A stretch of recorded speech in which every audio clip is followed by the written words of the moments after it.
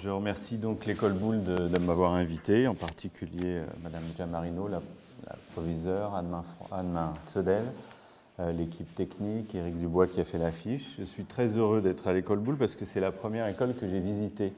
Il se trouve que quand j'avais 13 euh, ans, je voulais être sculpteur sur bois.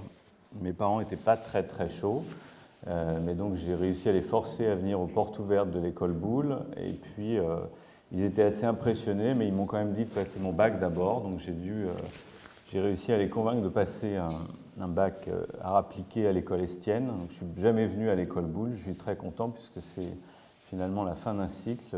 J'aurais aimé être à l'école Boulle, mais je n'ai jamais pu y venir, donc c'est une revanche. Euh, donc j'ai fait mon, un bac option à appliquer à l'école Estienne, ensuite j'ai fait euh, design industriel à Olivier de Serres, et puis je me suis dirigé petit à petit vers l'architecture parce que après une expérience professionnelle, j'avais trouvé que le, design industriel était quand même assez restrictif dans la marge de manœuvre. Et donc, je me suis dirigé vers euh, l'architecture. J'ai fait un premier cycle à La Villette et un deuxième cycle à Belleville, où j'ai eu la chance d'avoir des grands professeurs comme Henri Siriani, le groupe Uno. Et il se trouve que trois semaines après mon, mon diplôme, je me suis retrouvé en Inde.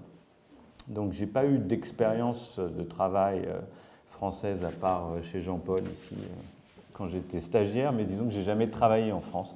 Donc ça me met dans une situation d'avoir une formation complètement française et en même temps une pratique complètement indienne. Donc j'ai dû me débrouiller, disons, sans avoir de base réelle de, pratique française. Je ne connaissais rien de l'Inde, je suis arrivé comme coopérant à la place du service militaire. C'était une façon d'éviter le service militaire. Donc je me suis retrouvé en Inde trois semaines après et je connaissais rien de l'Inde puisque ce n'était pas un pays que j'avais choisi. On nous envoyait dans différents pays en fonction des, euh, des projets qu'il y avait. C'était avec le ministère des, Affaires étrangères. Et ma première expérience de l'Inde a été le voyage et le, croquis. Je prenais aussi des photos, mais euh, la, première, disons, pour pour commencer à emmagasiner des connaissances, euh, le croquis était toujours, parce que dans les écoles d'art on dessine beaucoup, j'avais des facilités, beaucoup de pratiques, donc c'est devenu une méthode d'acquisition du savoir, euh, des, bâtiments historiques, des bâtiments modernes, c'est devenu un système assez profond d'intégration, comme une bibliothèque visuelle, une bibliothèque typologique. Et c'était euh, comme ça que, par exemple, là c'est des croquis de la grande mosquée de, de Delhi. Euh, j'ai réussi à beaucoup voyager, j'avais quand même pas mal de temps, donc on pouvait voyager. Et donc ma connaissance de l'Inde est devenue immédiate, ça n'a pas été une, une, connaissance par les livres, ça a été une connaissance par le voyage. Donc ça c'est la grande mosquée de Delhi. Je suis allé ensuite évidemment au Taj Mahal, où là, ce qui est très intéressant dans le Taj Mahal, c'est pas le devant, c'est-à-dire la, brochure publicitaire que vous voyez, mais l'arrière qui est sur la rivière. Ça c'est la plateforme qui, qui est au-dessus de la rivière en promontoire. Et c'est une façade absolument hallucinante parce qu'on comprend toute la géographie et tout l'emplacement, la façon dont le Taj Mahal est placé comme une succession de monuments sur la rivière dans une courbe. Donc on voit bien les autres monuments, la plupart ont été détruits, mais il en reste. Et donc on comprend ça dans un lien géographique à grande, à grande échelle du territoire. Ensuite, euh, dans le Rajasthan, dans le Madhya Pradesh, il y a beaucoup de forts, où là c'est plutôt un rapport à la topographie et comment les, comment les, différents rois, euh, les Maharajas indiens, dans l'histoire, ont construit et renforcé des, des situations euh, géographiques et topographiques. Ça, c'est à Gwalior, dans le Madhya Pradesh. Donc, je vous engage évidemment à beaucoup voyager, c'est très important. Euh, ensuite, Benares, qui est une ville absolument incroyable, puisque c'est une ville où les gens viennent mourir. C'est la, ville de l'Inde où les gens finissent leur vie. Euh, parce que c'est une ville sacrée, et une fois qu'ils sont incinérés à Benares, euh, ils vont directement au nirvana, donc ils, cassent le cycle des réincarnations. Donc c'est un peu une ville, euh, c'est une ville très active où il y a énormément de population qui travaille, mais il y a aussi une énorme population de, gens qui viennent y mourir dans différents hôtels, sur, les, sur les escaliers. Et c'est une ville très particulière parce que de l'autre côté du Gange, il n'y a pas de ville. Donc c'est une ville d'un côté et de l'autre côté, c'est comme c'est des, plaines inondables. Donc on a une, vision presque métaphorique de, la mort comme une espèce d'absence complète et le, flot de la, rivière. Et c'est dans une courbe aussi de la rivière, donc on arrive à voir toute la ville, euh, un peu comme dans un grand stade, on arrive à comprendre toute l'organisation de la ville qui est en bordure de rivière.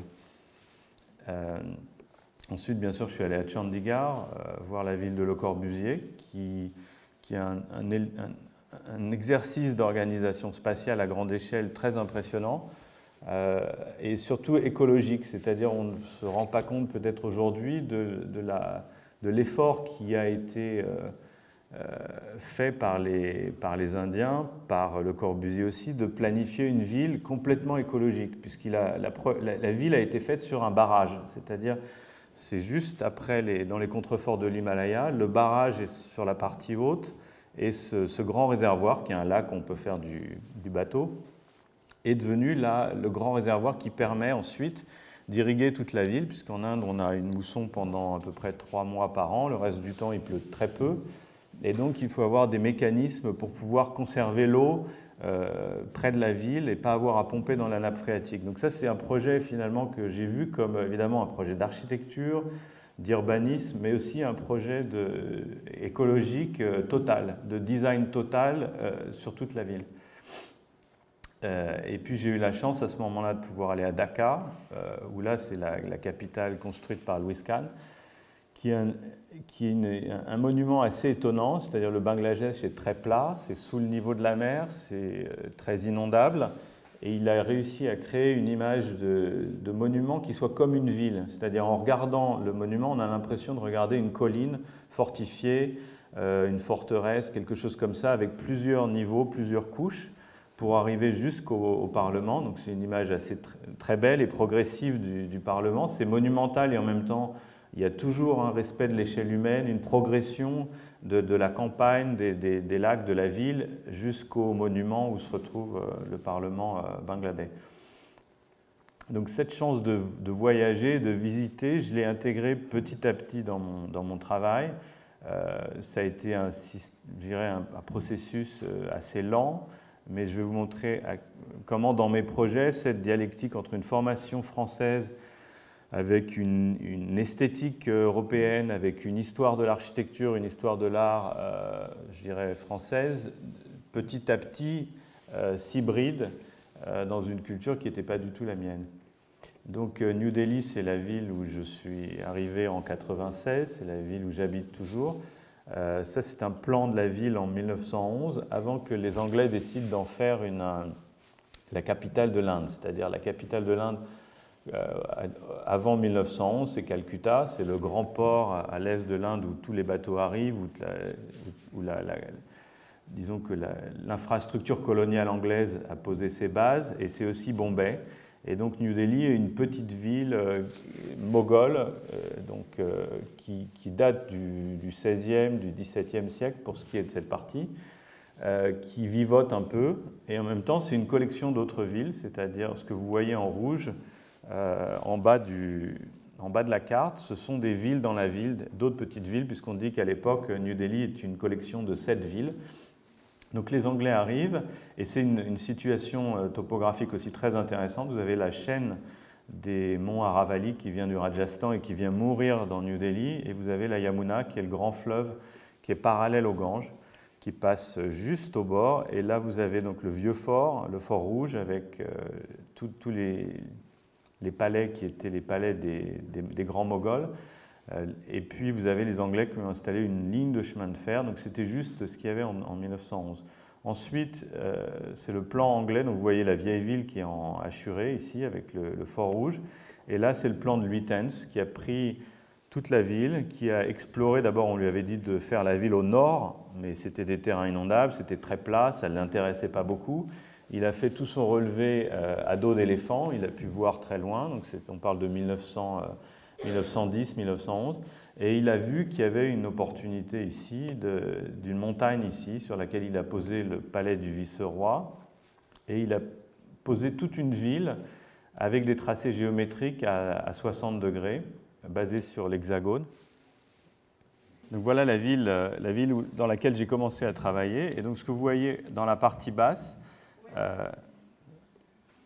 c'est euh, dont l'axe nord est-ouest. là c'est mieux. Vous avez l'axe ex-ouest sur lequel il y a les monuments, vous avez Connaught Place qui articule avec la ville, la ville médiévale, et vous avez le vieux fort ici et la rivière. Donc il a tout réorganisé dans l'axe. Et ensuite, au numéro 6, en bas, vous voyez euh, ce qui s'appelle Lodi Garden, qui est un grand parc de New Delhi, où j'ai eu la chance de faire un de mes premiers bâtiments. Donc voilà le, projet, donc ça date un peu, hein, c'est 2001-2004. C'était un projet, un concours euh, franco-indien où il y avait une dizaine d'architectes et euh, qui se trouve dans, dans, cette partie de Delhi qui est vraiment une cité-jardin, c'est-à-dire c'est fait par des grands axes et en même temps c'est très très peu dense. C'est-à-dire le projet anglais de, ville coloniale, c'était une ville pour contrôler, pour contrôler le territoire, pour contrôler la population, et en même temps avec très peu de moyens euh, euh, construits. C'est-à-dire ce n'était pas des alignements, euh, je dirais, à la parisienne ou à l'européenne d'immeubles, c'était des alignements d'arbres, et c'était des bâtiments qui étaient très bas, des bâtiments coloniaux qui étaient pour les fonctionnaires de l'État colonial indien. Donc, ensuite, dans les années 50, il y a eu tout un développement dans cette partie-là avec euh, beaucoup de fonds américains, puisque ça, c'était euh, le Rockefeller Center. Euh, il y avait le bâtiment des Nations Unies, il y a la Banque mondiale. c'est un quartier où il y a comme ça tous ces bâtiments-là. Et le, projet, donc le concours, était pour un dernier terrain qui était libre, juste à côté de Lodi Garden. Donc là, vous voyez les tombes de Lodi Garden. C'est un parc très très beau. Euh, et donc le concours s'est fait sur la base d'un texte qui expliquait que euh, le client, le maître d'ouvrage, voulait un projet franco-indien qui puisse refléter la France et l'Inde ensemble. Donc c'est évidemment très compliqué. Euh, ce n'est pas vraiment la Tour Eiffel et le Taj Mahal, donc il faut euh, arriver à développer d'autres concepts, comprendre comment les choses peuvent s'articuler. Et donc on a proposé un projet d'une grande d'une grande ombrelle, d'une grande pergola qui, couvrirait toute la, parcelle, donc qui était la partie, je dirais, euh, euh, high-tech ou française ou européenne, qui était plus légère, qui était plus technologique. Et en dessous, on avait des blocs, des blocs de pierre un peu sculptés, assez architecturaux, qui étaient l'identité indienne, l'identité de l'architecture traditionnelle, ou en tout cas euh, classique indienne. Le dôme que vous voyez, c'est le dôme de Lodi Garden qui se trouve juste derrière. Il y avait un contrôle assez strict des hauteurs. Il ne fallait pas dépasser les arbres, donc on est à peu près à une quinzaine de mètres. Euh, j'avais par ailleurs une expérience de l'architecture en bambou, puisqu'en Inde, il y a beaucoup d'architectes temporaires qui sont faits pour les mariages. Là, c'était une tente que j'avais faite pour euh, le 14 juillet, donc c'est des choses qui durent pour très peu de temps. Ils font des structures gigantesques qui sont ensuite euh, démantelées et qui disparaissent. Euh, c'est assez impressionnant puisqu'en très peu de temps, ils arrivent à faire même des villes. Il y a un festival qui se passe tous les, tous les 12 ans qui s'appelle la Kumbh qui, qui, qui, est un événement euh, sur toute l'Inde où il y a à peu près 60 millions de personnes qui se retrouvent à un endroit pendant trois semaines. Et la ville entière est une ville de bambou, de, une ville de, temporaire. Donc on parle beaucoup de l'architecture pour les migrants. Euh, c'est pas mal de se poser la question de l'Inde parce que c'est c'est des gens qui ont l'habitude. Ils, savent gérer des grands mouvements de population pour des très courtes durées. Et donc le bambou, évidemment, euh, avec un savoir-faire local, va très vite. Donc c'est pas qu'on a fait un toit en bambou, mais l'inspiration était là. Donc voilà le, terrain. Donc on est, on est entre deux euh, rues intéressantes, une qui mène au Lodi Garden, donc ça devient une espèce d'entrée euh, dans le site, et puis une autre qui a une place auquel à peu près 4 ou 5 bâtiments autour. Donc le projet a été de dessiner des blocs avec des fonctions différentes. On a l'auditorium, la cafétéria, euh, l'administration, la galerie d'art qui se trouve en sous-sol, avec un concept donc de pergola qui couvre tout le bâtiment, euh, qui est là pour générer de l'électricité. C'est-à-dire, euh, c'était déjà un bâtiment, je dirais, intéressé par l'architecture durable et surtout d'utiliser le toit comme un producteur d'électricité. C'est-à-dire on se retrouve en Inde où il y a, y a toujours un, problème de... Euh, n'y a, pas a pas de centrales nucléaires ou très peu. Euh, les, centrales thermiques euh, sont très en retard. Donc il faut pratiquement que chaque bâtiment ait sa propre infrastructure en termes de production d'électricité, en termes de traitement des déchets, en termes de traitement des eaux usées. Donc ça devient un peu des usines à gaz, c'est-à-dire il faut arriver à tresser tout ça dans la conception du bâtiment. Donc ici vous avez la galerie d'art qui est en semi-sous-sol, l'auditorium, la, bibliothèque, la cafétéria, et tout ça est couvert par un grand toit. Donc comment ça se traduit? Vous voyez, l'environnement, c'est une, ville très verte, en particulier pour le centre, la partie, euh, euh, anglaise. Euh, vous avez les tombes du Lloyd Garden ici, les bâtiments donc autour, et ce toit qui flotte un peu avec les panneaux solaires, et puis un, bloc très architecturé, très massif, avec un, qui est tout en, béton, mais avec un habillage pierre, un habillage de grès. Le bâtiment donc, est comme ça, c'est des blocs. Ça, c'est la galerie d'art. Vous avez l'auditorium, vous avez la, librairie et le grand toit qui couvre tout. On a évidemment conservé tous les arbres, donc les arbres font vraiment partie de l'architecture. Voilà l'entrée avec le, grand bloc en verre qui est la galerie d'art avec des effets d'annonce. On peut mettre des grandes sculptures ou des, ou des affiches. La descente vers la galerie. Et, donc, dans le savoir-faire indien, ils emploient beaucoup plus de gens sur les chantiers qu'en Europe. Par contre, ils ont beaucoup moins de, machines. Donc, tout devient un travail à la main assez long, assez pénible, où là, par exemple, toute la structure est un surstructure de, caissons, où les caissons sont faits à la main, un peu comme des seaux. Ils sont posés sur des, étais, et ensuite, le, béton est coulé entre, le, entre, les, entre les, les caissons.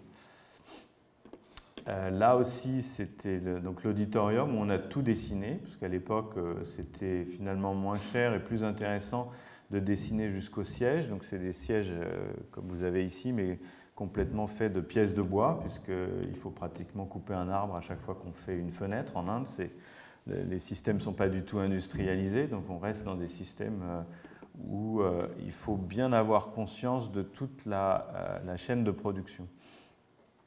Euh, voilà, donc le bâtiment est complètement dans les arbres.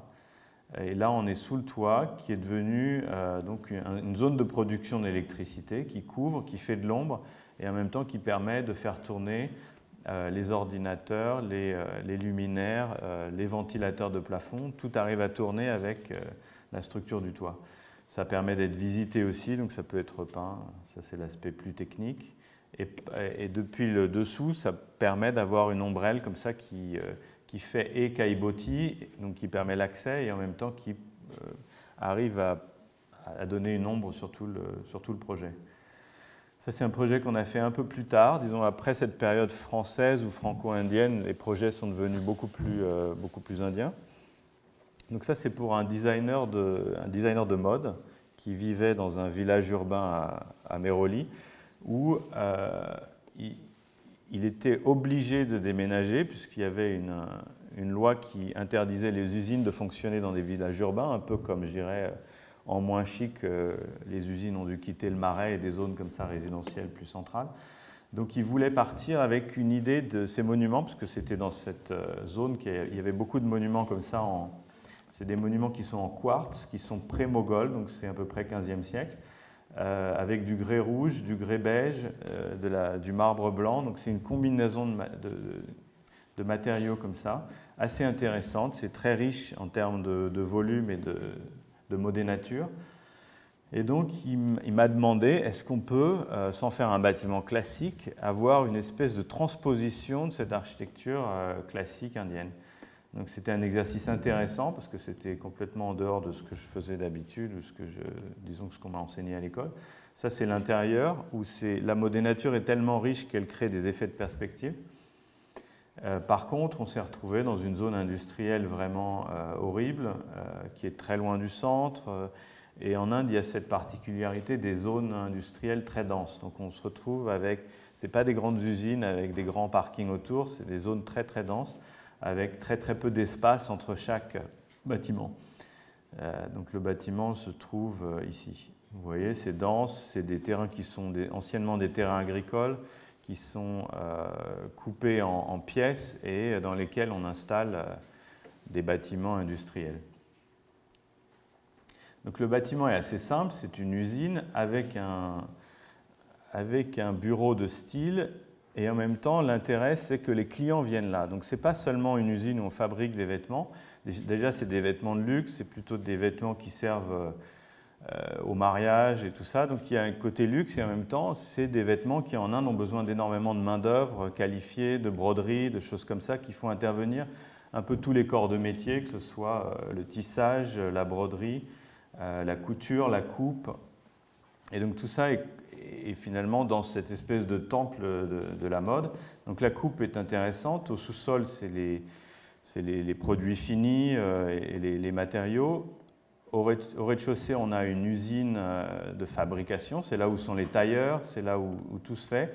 Et tout ça, c'est sous une voûte mogol, donc qui est euh, un peu prise de ce projet-là que je vous ai montré d'abord, c'est-à-dire une voûte qui est un peu différente des voûtes des voûtes gothiques, c'est une voûte droite, euh, très stricte, et en même temps, en l'ouvrant, ça permettait de faire un grand lanterneau qui puisse irriguer toute la longueur de l'usine.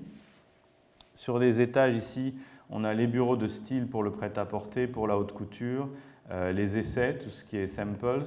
On a un showroom ici, euh, le bureau du designer, qui est comme dans un jardin au-dessus de l'usine. Donc le bâtiment est comme ça, si vous voulez. Vous avez toute, euh, toute la partie fabrication et conception ici. Et vous avez un, espèce de jardin sur le toit de l'usine où tout le monde vient. Euh, c'est ouvert aux ouvriers aussi, ils peuvent venir en haut. Et euh, vous avez le bureau du designer ici. Donc depuis l'extérieur, ça devient une espèce de, de, masse ouverte, comme un, un petit peu comme, un, comme une pierre coupée en deux, où la lumière rentre à l'intérieur sous toute la longueur du bâtiment. Donc c'est tout en béton derrière, mais la structure est en briques. Et donc on a cette, euh, cette fente qui va jusqu'au bout euh, et qui permet à tous ces, gens qui travaillent dans ce bâtiment de se retrouver au centre. Voilà l'entrée. Tout est fait avec des matériaux de base en Inde, c'est-à-dire la brique et le béton. Il n'y a, pas a pas du tout de matériaux luxueux, même si c'est finalement un designer de luxe. Éléments qui font partie du bâtiment sont très très simples. Voilà l'entrée avec, euh, on voit toute la prolongation de l'usine derrière. Donc en même temps, on peut voir le processus de faire une robe, de faire un vêtement. Euh, donc ça, c'est la partie fabrication. On a une vision complète de l'atelier ici et euh, les espaces de, de, conception des designers à la fin du chantier avant qu'il y ait les meubles. Et sur le toit, autour du jardin, on a euh, là où les, gens sont reçus, où ils essayent. Et c'est très simple, c'est-à-dire tous les intérieurs sont faits en briques, enduites, de ciment, il n'y a pas du tout de, il a pas de fioriture, c'est très simple. Et c'est la structure qui finalement fait la décoration. Alors pour faire ça, euh, il faut se poser la question du comment, c'est-à-dire en Inde, il n'y a pas d'entreprise vraiment euh, qui font plan d'exécution, donc il faut se pencher sur les questions de comment faire les choses et donc pour une colonne comme ça, il faut dessiner euh, un chapiteau comme ça, c'est-à-dire euh, on est obligé de travailler avec les artisans, de faire des plans d'exécution. Donc là, il est au milieu de la colonne, vous voyez le, moule. Et donc tout se passe comme ça, c'est-à-dire on est obligé de faire énormément de détails, de suivre les chantiers, d'expliquer les choses. C'est une position euh, presque pédagogique de, de, la construction. Ensuite, on a eu un autre projet qui était un grand immeuble de bureaux où là, pareil, le client nous a dit, je ne veux pas un immeuble de bureau euh, normal comme il y a partout, je veux un immeuble de bureau qui, fasse référence à la culture indienne. Donc là encore, je me suis posé des questions. Qu'est-ce qui, dans la culture indienne, est intéressant en termes de réappropriation pour faire un espace de bureau très grand, puisque c'est à peu près 20 000 mètres carrés, euh, et en même temps, euh, c'était des, des, systèmes de... C'est pas un grand plateau, c'est des unités différentes. Donc là, vous avez les, puits souterrains, c'est une spécialité indienne, c'est-à-dire dans les villes d'Ahmedabad, par exemple, vous avez des puits qui sont très intéressants parce que c'est une perspective à hauteur, d'œil et c'est une perspective qui descend à l'intérieur du trou, finalement, jusqu'à l'eau, jusqu'au puits. Et c'était des lieux de vie, c'est-à-dire ce n'est pas seulement des lieux de prière ou des lieux de visite, c'est des lieux où les gens habitaient. Ils venaient avec euh, euh, leur famille et pendant les mois d'été qui sont très très chauds, c'était des lieux de vie communautaires. Donc je me suis intéressé à cette typologie et comment la réinterpréter pour en faire un projet de bureau moderne avec des ordinateurs, euh, avec tout ce qu'il faut pour travailler.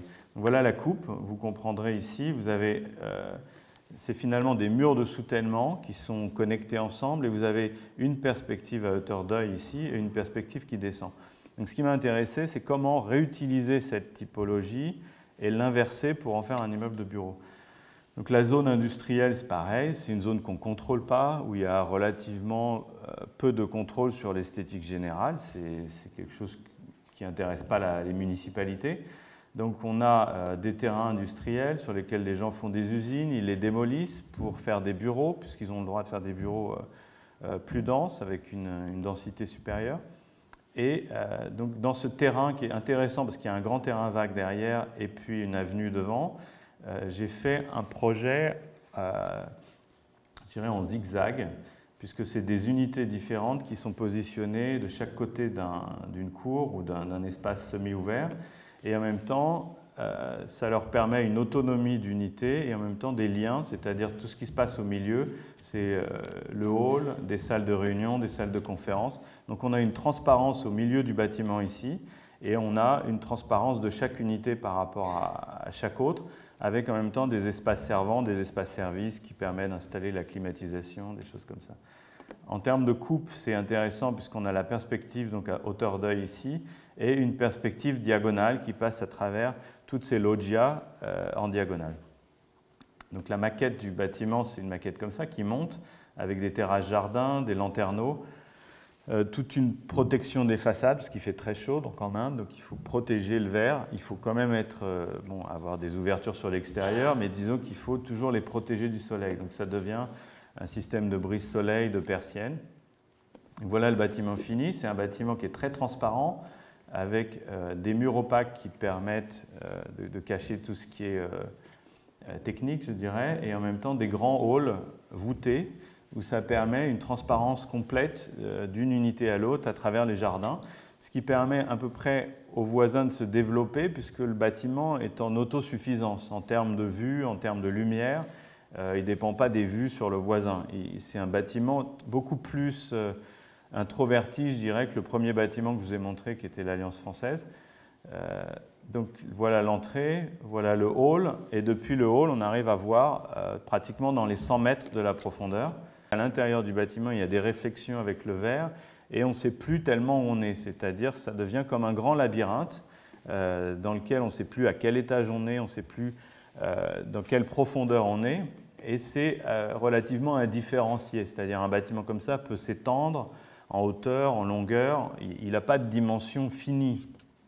Ce que je trouve aussi intéressant, puisque euh, les bâtiments comme ça, industriels ou semi-industriels, sont des bâtiments qui sont appelés à grandir. Donc il faut trouver des, systèmes relativement ouverts où les bâtiments peuvent, euh, peuvent s'agrandir. Voilà, vous voyez la transparence qui va jusque vers l'avant et les réflexions intérieures quand on est à l'intérieur. Ici, voilà les cours, il y, a des, il y a des bassins, il y a différentes choses. Et ça, c'est les, les fameuses logias en double hauteur où les gens viennent se rencontrer, fumer une cigarette, prendre un café. Ça permet d'avoir un lieu de travail euh, très cohérent. Et là, depuis l'arrière, ce qu'on voit, c'est que cette perspective fonctionne dans l'autre sens aussi, puisqu'en étant au dernier étage, on arrive à revoir euh, le hall qui se trouve à l'intérieur.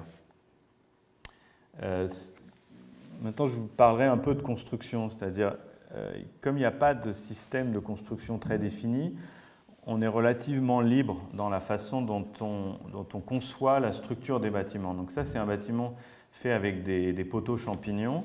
Ça ne se voit pas, c'est-à-dire ce que vous voyez, c'est une voûte en briques. Euh, par contre, pour arriver à mettre en place ces voûtes en briques, c'est à nous de dessiner les coffrages. Donc, par exemple, ça, c'est des coffrages métalliques sur lesquels, euh, qui sont donc dessinés à notre bureau, on les passe à l'entreprise. Il y a toute une coordination à faire et ça permet de poser euh, des briquettes avec des, écarteurs, disons, et ensuite de faire des dalles dessus.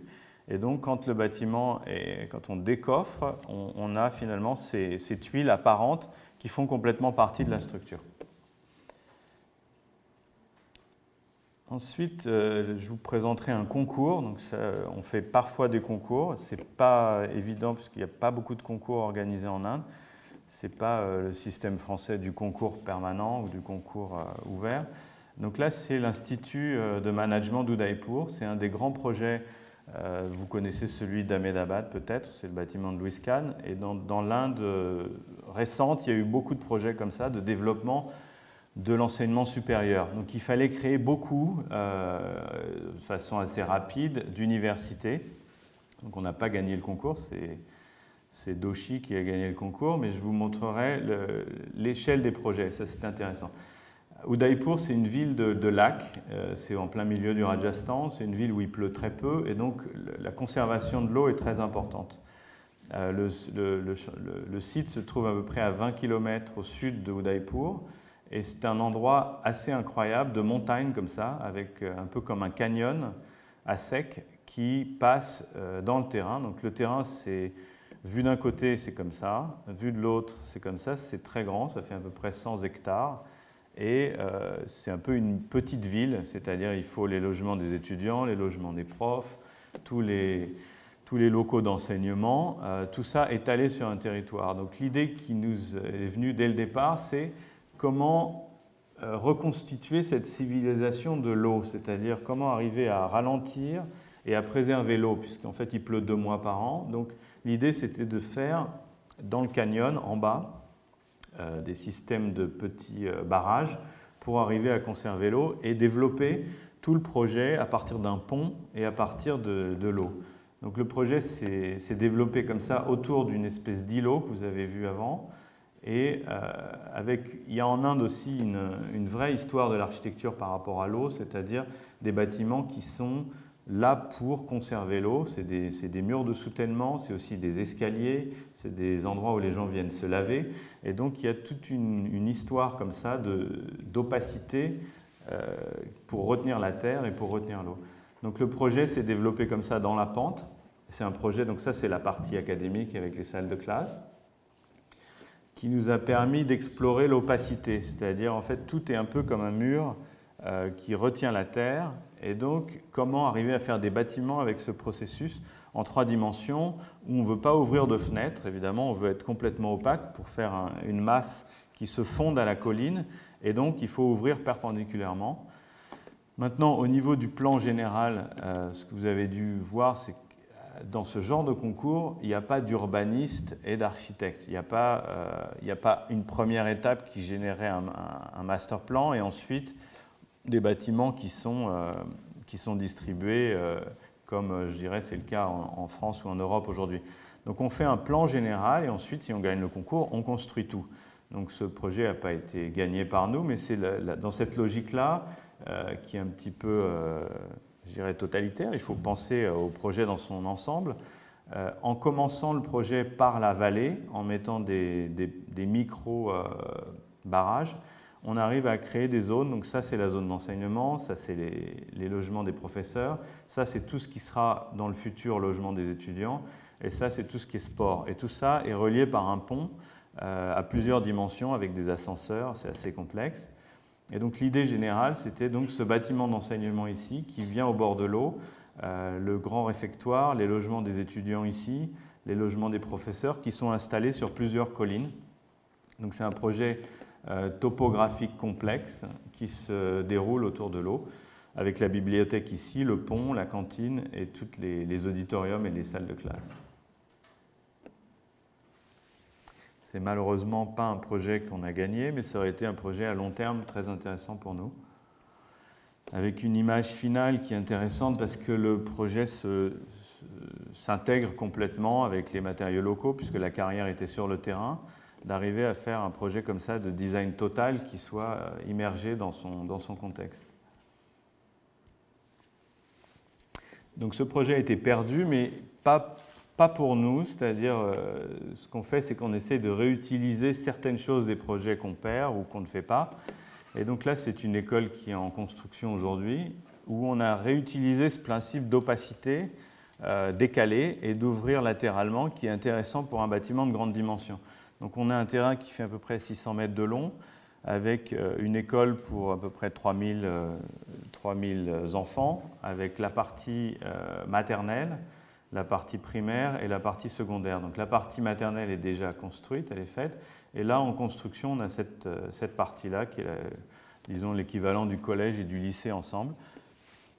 C'est quelque chose d'assez courant en Inde, c'est-à-dire que les écoles sont des écoles qui sont sur, euh, sur toute la durée de la scolarité. Ça va de la, maternelle jusqu'au bac.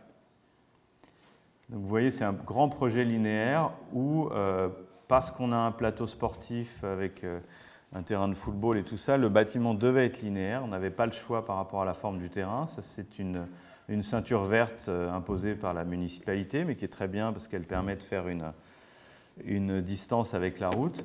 Et là, euh, on a développé un projet de module de quatre classes, c'est-à-dire, euh, je vais vous expliquer ça plus tard, il y a un pont qui connecte les deux parties des, écoles, donc l'école primaire ici, l'école secondaire ici, l'entrée, euh, avec des blocs qui sont en briques grises au-dessus et en briques rouges en bas.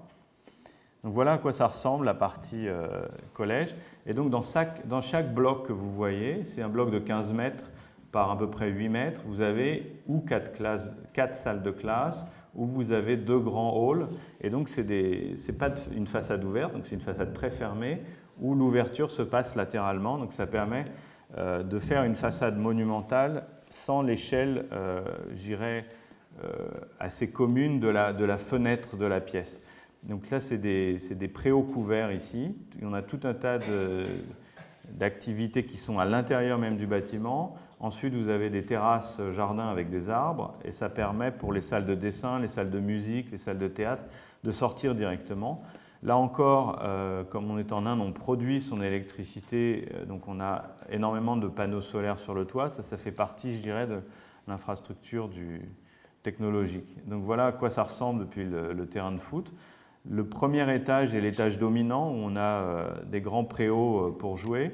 Et puis là, c'est finalement un étage qui va en dessous où on a les grandes salles de sport. Donc les, salles de sport, c'est le gymnase, donc le, stade est ici, le, stade extérieur. Vous avez euh, des, donc c'est des, salles polyvalentes qui peuvent changer en, en, salle de spectacle ou en salle pour appeler les parents, mais sinon ça fait tous les sports. Et pour ça, on a dû développer une technologie spéciale euh, qui est plutôt utilisée pour euh, les infrastructures. Voilà la piscine. donc dans ces projets-là, on est obligé de dessiner tout, c'est-à-dire on commence par le master plan, ensuite toute la construction et donc ensuite tous les intérieurs de chaque salle de classe. Donc c'est des projets qui sont un peu une boîte dans la boîte, euh, mais c'est assez courant euh, en Inde pour ces projets-là, ces projets de ce type-là. Ça c'est les, terrasses à ciel ouvert, les préaux, euh, les salles de dessin qui sont des salles doubles qui permettent d'ouvrir sur des, sur des terrasses latérales. Euh, donc du point de vue technologique, pour arriver à faire ça, c'est un peu différent d'une structure classique, c'est-à-dire euh, c'est ce qu'on appelle du préfabriqué lourd, c'est-à-dire ces éléments de poutre sont des éléments de, grande portée, 15 mètres, qui permettent d'être préfabriqués et d'être installés ensuite. Donc c'est quelque chose qui nous intéresse, c'est plus proche de la structure ou du design industriel que de l'architecture, mais en même temps, tous ces composants, quand on les met ensemble, c'est ça qui fait que le projet aboutit dans des délais relativement corrects, avec une, qualité, un contrôle de qualité euh, qui est souhaitable pour ce genre de projet. Donc ce qui est fait, c'est des grands portiques en béton, et ensuite, entre les deux, on a des, dalles comme ça qui sont euh, des dalles préfabriquées. Donc pour faire ça, il faut se poser la question des moules. C'est quelque chose qui rentre dans notre euh, compétence aussi. On regarde à quoi ressemblent les moules, comment on peut les comment on, les fabrique. Et donc on a deux moules de 50 mètres qui permettent de faire ces pièces et ensuite de les euh, apporter sur le chantier. Ça permet un contrôle de la qualité du béton, un contrôle euh, visuel, et puis donc dans ces projets-là, il n'y a pas de finition. C'est-à-dire une fois que la structure est finie, euh, je dirais le bâtiment est presque fini, c'est très simple. Ça fait des grands espaces sans, sans, cloisonnement, on est dans un plan complètement libre. Euh, et ça permet, par exemple, ça c'est la cantine, on peut aussi faire des, double auteurs, c'est des photos de chantier. Et euh, c'est un système préfabriqué, donc dans les éléments de structure, c'est des éléments qui sont fabriqués sur le chantier et qui sont ensuite posés à différents niveaux sur le bâtiment. Euh, ça, c'est une école qui malheureusement n'a pas abouti.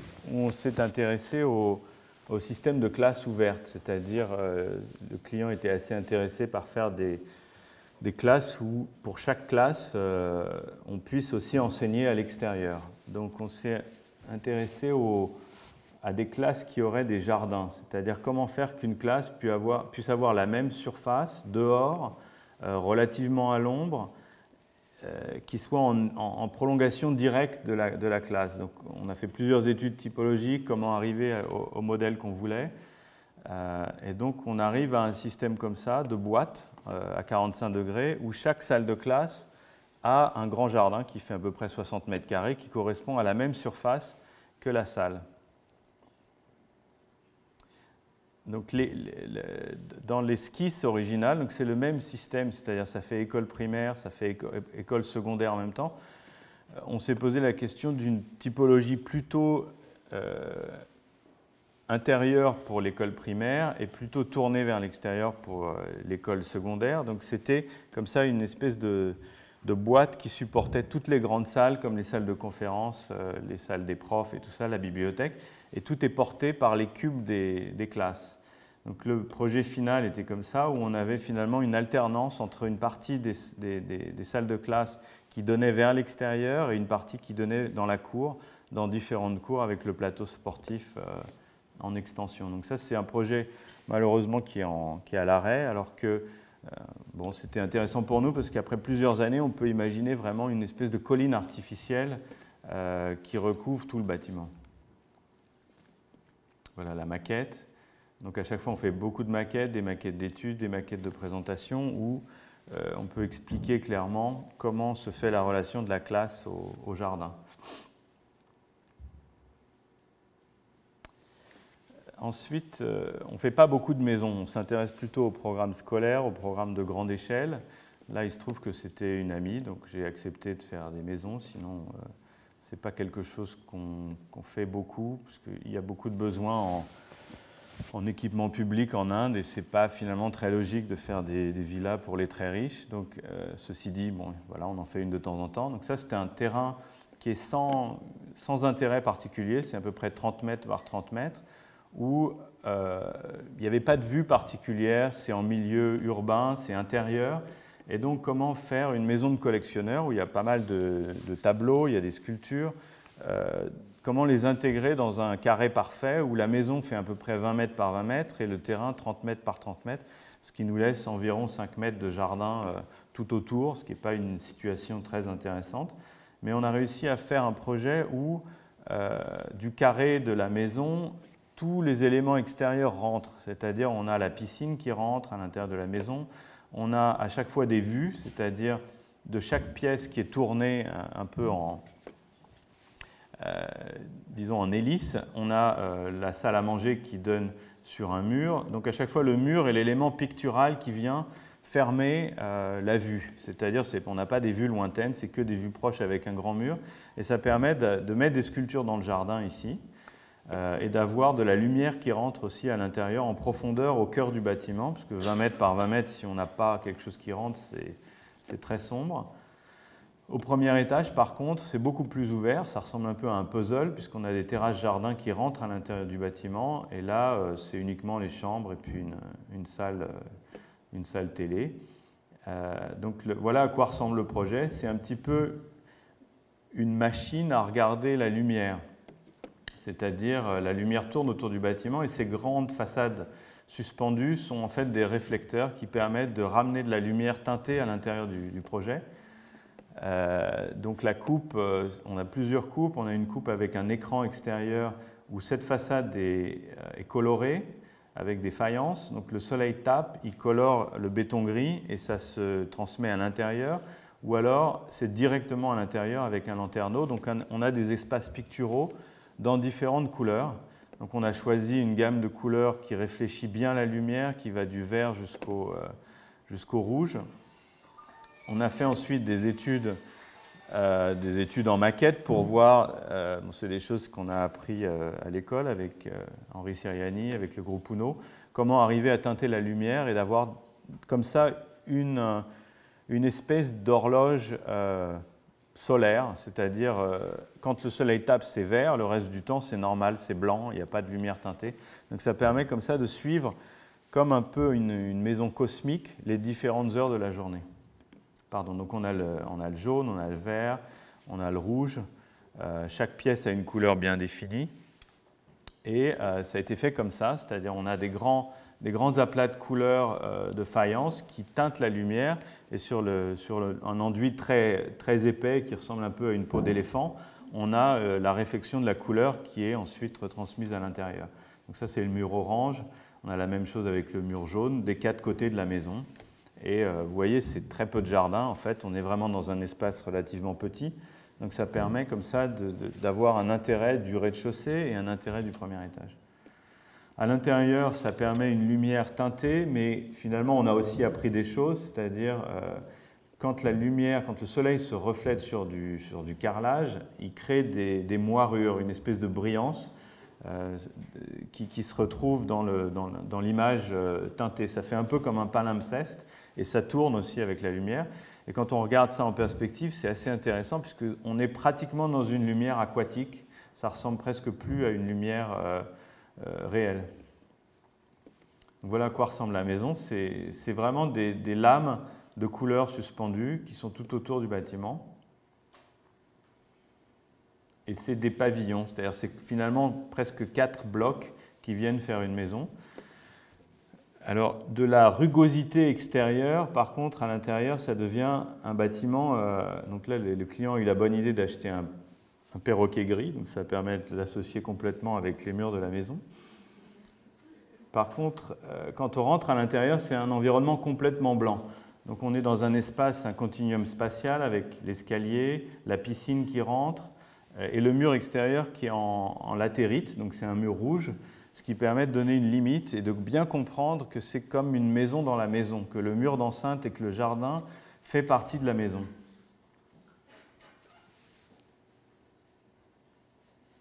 L'escalier a été un petit peu la pièce maîtresse, ça a été assez compliqué à construire, il a fallu aussi euh, euh, le construire avec des moyens du bord. C'est pas du tout sophistiqué la construction, mais à la fin, on arrive quand même à avoir un résultat très complexe. Tout est enduit de, granito noir et de granito blanc, et ça devient comme la sculpture, euh, la sculpture du bâtiment à l'intérieur. Ça, c'est le dernier étage avec le lanterneau qui est juste au-dessus du, puits de lumière. Et ça, c'est quand on regarde en bas, donc ça fait presque une sculpture en trois dimensions. Ça, c'est les photos de chantier. Donc, vous voyez, c'est très artisanal. C'est-à-dire la façon dont on arrive là, c'est en construisant des murs en briques, en remplissant de terre, en faisant des coffrages perdus. C'est assez complexe, mais on arrive à faire cette espèce de, presque comme un insecte qui rentre dans le bâtiment. voilà les photos euh, avant que tout soit peint, avant que on l'aurait presque gardé comme ça, mais ce n'était pas possible. Et voilà comment se passent les chantiers. Voyez, c'est assez tranquille. Ça, c'est le, project manager, la grosse dame dans son sari. Ça a été un projet qui a pris 4 ans. Donc voilà pourquoi en général on ne fait pas trop de maisons, parce que c'est un peu lent comme, comme mode de fabrication, mais c'est très agréable, disons que ce n'est pas du tout euh, le mode habituel. Voilà un projet complètement différent, parce que là c'est un campus universitaire qui, euh, ça fait à peu près 10 ans maintenant qu'on travaille euh, sur ce projet. Ça a été intéressant pour nous parce que c'était le premier projet de vraiment qui est un petit peu entre euh, l'urbanisme et l'architecture. On a dû faire le master plan, les bâtiments un par un, et ça nous a permis de... Ça a été un peu un terrain d'expérimentation, donc chaque bâtiment n'est pas une réussite complète, mais ça nous a permis d'arriver à l'échelle du bâtiment jusqu'à une échelle, une échelle de parc, une échelle de, de, de vrai environnement pour les étudiants, puisqu'en fait on s'est aperçu aussi que les, universités, une fois qu'elles commencent, elles s'arrêtent jamais. C'est-à-dire c'est des processus qui ne font que grandir. Il n'y a pratiquement pas d'université en Europe qui est réduite de taille. Pratiquement chaque, chaque année, chaque dizaine d'années, des nouveaux bâtiments se construisent. Et euh, si vous voyez les, les, universités comme euh, Cambridge ou Oxford, c'est des villes entières. Ça devient une ville complète. Donc c'est des terrains complètement agricoles. Dans le contexte indien, euh, c'est vraiment la campagne, c'est-à-dire on est à peu près à 70 km de Delhi. C'est des terrains qui sont acquis, dont les droits changent d'une occupation agricole à une occupation institutionnelle. Et donc on est même, donc le terrain est cette espèce de pentagone avec des parties arrière, euh, qui fait à peu près 30 hectares, euh, qui est conçu pour euh, environ 6000 étudiants avec les logements, avec les, amphithéâtres, les bibliothèques, tout ce qui... et puis quelques logements de profs. Les profs ne sont pas tous ici. Donc voilà à quoi ressemblait le terrain en 2008 quand on, nous a demandé de donner un avis sur le terrain. Donc c'est des grands champs, euh, tout plat, il n'y a pas du tout de topographie. Euh, ça c'est une rivière qui est plutôt un drain public ou euh, qui est très polluée, donc on a dû aussi dépolluer dans le processus de rendre le terrain viable. Le plan masse, le plan général est assez simple, c'est-à-dire on a mis l'université, tout ce qui est auditorium, salle de classe, salle de séminaire au centre, les logements des profs sur le côté, et puis des villages étudiants qui sont plutôt vers l'arrière avec des, des salles de, des salles, des, hôtels qui sont à court terme, et ici un grand gymnase qui fait euh, aussi salle de conférence. On a dû construire ce bâtiment très vite. Euh, ça a été une des contraintes pour choisir l'architecte. Ça n'a pas été très agréable et on a réussi à finalement faire un bâtiment qui puisse être construit en moins d'un an. Donc ça demandait beaucoup d'industrialisation, euh, beaucoup de préfabrication. Donc on a fait un bâtiment avec des, points, des points stables qui sont les escaliers, les ascenseurs, et puis des ponts, c'est-à-dire ça, c'est des ponts qui sont complètement modifiables. C'est-à-dire dans les programmes euh, académiques comme ça en Inde, il y a rarement un programme très précis, euh, parce que euh, le maître d'ouvrage ne sait pas à long terme ce qu'il va enseigner dans un an, dans deux ans, dans trois ans. Donc il y a les points fixes qui sont la bibliothèque, comme ici, qui est la, salle d'entrée de la bibliothèque, les auditoriums, le reste, ce qu'ils trouvent dans les ponts, c'est des choses qui sont très flexibles. Donc on a une structure extérieure dans ce cas-là, comme un pont un peu, qui permet de complètement reconfigurer tous les espaces, euh, je dirais, atypiques qui peuvent changer en fonction des programmes, en fonction de ce qu'on enseigne, de la taille des, salles de classe. Donc on a une structure hybride avec une partie béton pour tout ce qui est point fixe et une partie métallique légère pour tout ce qui est... Euh, modifiable. Donc le, maître d'ouvrage est assez obsédé par le drapeau indien. Il a gagné un procès contre l'État indien pour pouvoir euh, mettre des drapeaux partout où il fait des, il fait des opérations. Donc il nous a demandé de concevoir aussi euh, un drapeau de... Donc le mât fait 63 mètres, le drapeau fait 12 par 20 euh, mètres. Donc c'est gigantesque, c'est assez difficile de gérer ça. Et donc on s'est dit bah, pourquoi pas finalement réinterpréter le drapeau dans les façades. Donc là, en rouge, vous avez la structure, qui est une structure minimale, qui est une structure métallique. Et puis derrière, c'est du vert avec euh, différents, euh, différentes couleurs qui permettent de réfléchir l'idée du drapeau euh, indien. Donc voilà, le, campus est construit. Ici, vous avez le bâtiment académique avec la structure qui fait façade, euh, le, drapeau gigantesque, les logements des, profs, et derrière vous avez un peu toutes les typologies qu'on a pu explorer pour les logements des étudiants. Donc voilà le bâtiment euh, d'enseignement qui est un bâtiment, je dirais, de type industriel dans sa, dans sa conception et même dans sa fabrication. C'est-à-dire c'est un bâtiment qui a été très, euh, qui a été pratiquement fait en usine. Et ce qui est intéressant dans, cette typologie, c'est que tout est sur pilotis, la totalité du bâtiment est surélevée. Donc sous le bâtiment, on a des jardins, on a des espaces ombragés où les étudiants peuvent rester. Puisqu'en fait, le problème des universités, c'est que si on n'est pas euh, dans une salle de classe, un amphi ou une bibliothèque, euh, on ne peut pas juste être dans sa chambre d'étudiant. Donc il fallait créer un ensemble d'espaces qui soient à l'ombre, qui ne soient pas climatisés parce que ça coûte très cher, et donc, l'idée de faire rentrer le parc sous le bâtiment euh, a été intéressante pour nous, parce que ça permettait de soulever tous les bâtiments, de donner à peu près 4000 m2 d'espace ombragé qui puissent devenir des jardins euh, d'un autre type, un peu plus... Ça, c'est les photos d'origine. Maintenant, les arbres ont grandi. Tout ça devient une espèce de jungle sous le bâtiment. Et puis, on a donc les, amphithéâtres qui sont des points fixes et euh, toutes les salles de classe, les salles de stockage qui sont des, des choses qui peuvent complètement se reconfigurer complètement. Donc la façade est industrielle, vous voyez, ça c'est des IPN ou des structures métalliques, du verre euh, qui est euh, avec un, enduit céramique. C'est très simple, c'est vraiment couche par couche. Voilà les auditoriums. La salle d'entrée de, la bibliothèque, il y a tous les, les, ouvrages de référence, donc là qui est en béton et en briques. La salle de lecture qui donne sur le parc. Et voilà donc l'aspect fabrication, puisque là c'était quelque chose qu'on a dû intégrer dès le départ. Donc ces grandes poutres qui, sont, euh, qui font 3 étages de haut par 40 mètres de long sont fabriquées comme ça au sol, sur le chantier, et ensuite elles sont levées par des grues qui permettent de les installer à différents endroits. Donc ça fait comme des grandes ailes de libellule, c'est assez, assez, fin en fait malgré la taille. voilà à quoi ressemblait le chantier. Donc vous avez euh, la préfabrication des, des, grandes structures, les points fixes qui sont en béton, qui sont euh, tout ce qui est ascenseur et escalier. Et entre les deux, c'est vraiment comme un grand mécano où on assemble toutes les parties du bâtiment. Ça, c'est euh, le moment où on a installé la dernière euh, partie de structure qui permettait de finir complètement la structure du bâtiment.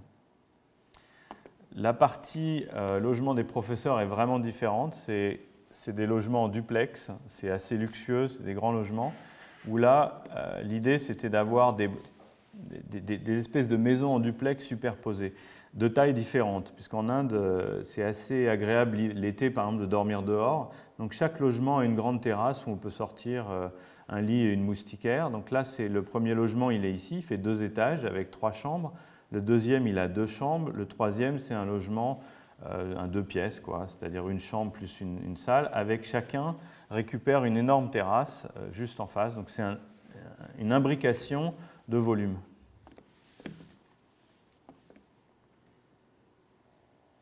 Pour les étudiants, euh, au début, on a eu un programme de, nombre d'étudiants qui était relativement faible, d'à peu près 500.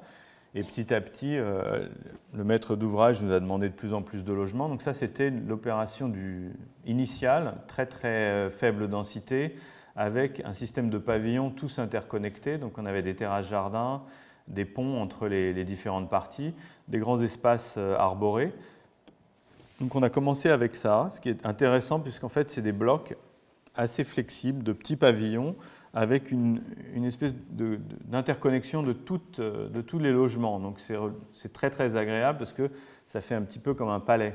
Euh, le problème, évidemment, c'est l'Inde étant l'Inde, on a commencé à séparer les garçons des filles. Euh, il y a des, clôtures qui sont un peu apparues partout, mais dans l'idée de, début, c'était de faire un continuum sans, euh, sans distinction.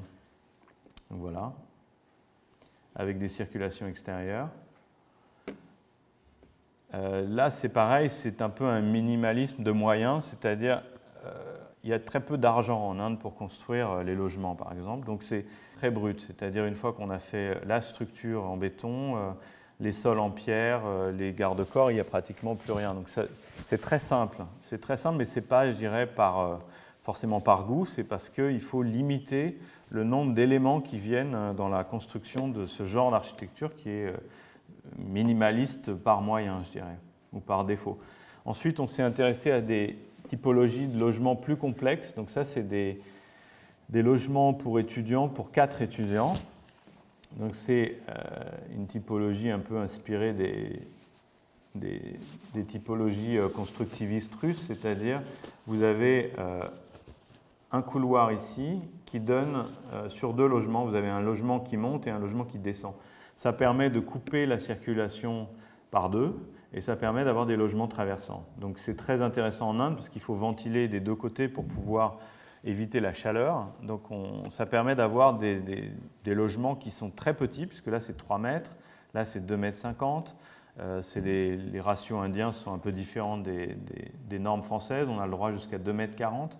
Donc c'est des petites pièces et malgré ça on arrive à faire un logement avec quatre chambres d'étudiants, un coin cuisine, euh, une un, salon pour 90 mètres carrés, donc c'est très dense.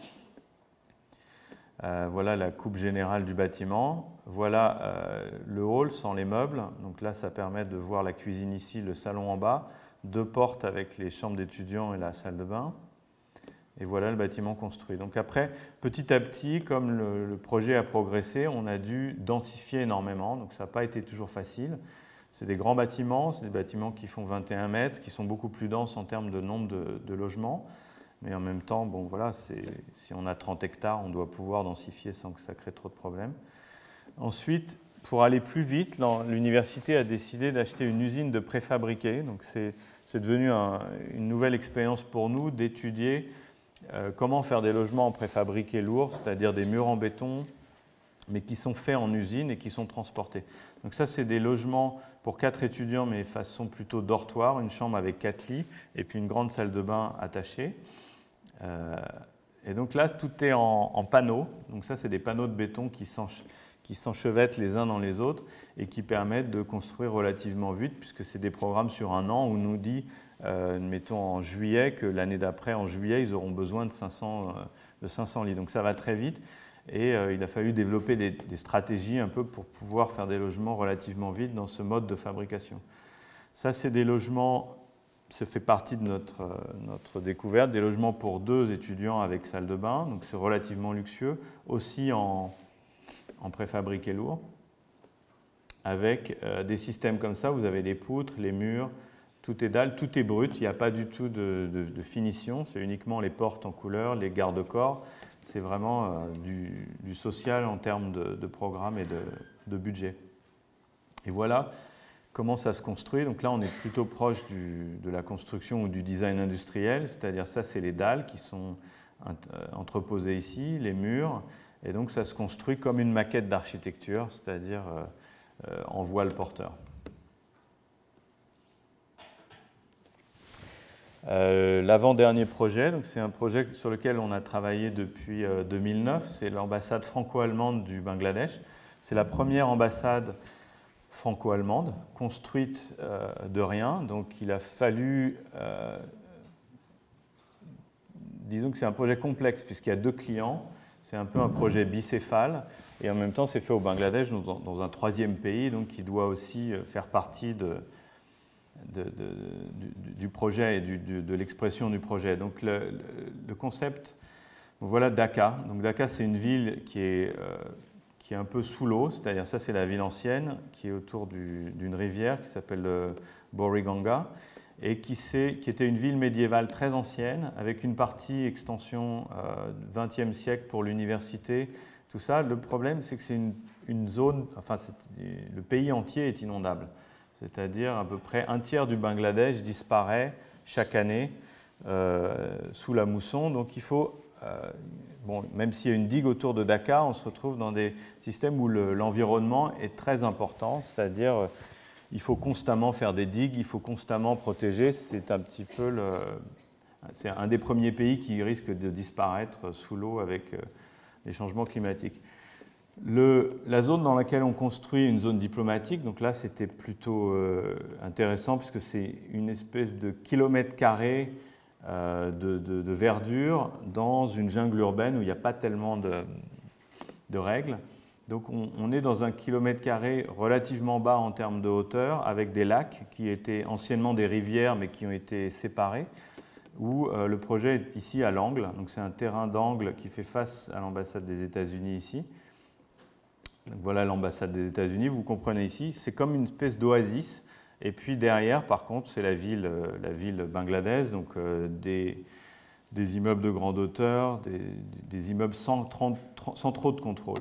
Donc, dans ce contexte-là, qu'est-ce qu'un projet franco-allemand? Qu'est-ce qu'un projet qui peut exprimer euh, les, deux, les, deux, pays ensemble? Donc, le concept du concours, pour nous, ça a été de dire on ne va pas faire euh, des ambassades à différents niveaux ou euh, une devant, une derrière ou deux bâtiments séparés. On s'est intéressé à l'ADN et à la double spirale.